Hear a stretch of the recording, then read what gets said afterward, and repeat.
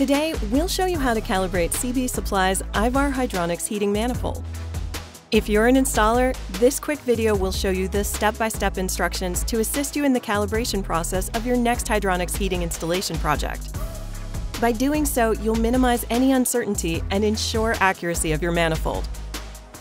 Our calibration process is simple and easy. The CSA B214 installation code for hydronic heating systems requires that all multi-zoned hydronic systems be calibrated properly to flow to all heat emitters. An ideal way to calibrate all zones is through a properly designed manifold equipped with flow meters. CB Supply's IVAR manifolds are designed and assembled to accurately deliver the proper flow rate to each loop of the manifold. The IVAR manifold comes complete with header isolator valves, thermometers, flow meters, circuit isolator valves, fill slash purge ports, and is mounted on brackets.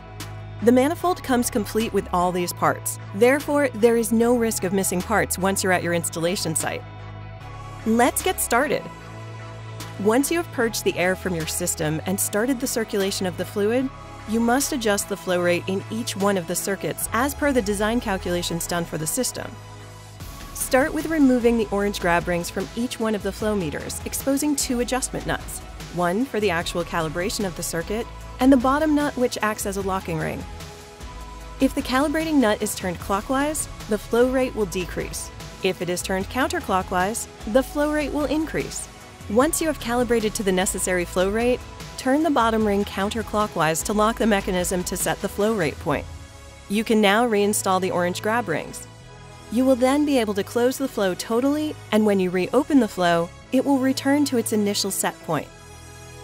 You will also note that the vial on the flow meter can be removed for cleaning even when the manifold is under pressure. The circuit isolation cap on the return header is double threaded. The bottom thread is for securing it to the manifold, while the other thread is for the manual isolation of the circuit. All adjustments should be done manually. The use of hand tools could damage the flow meters and return circuit isolator caps and is not recommended. As simple as that, your IVAR manifold is now calibrated.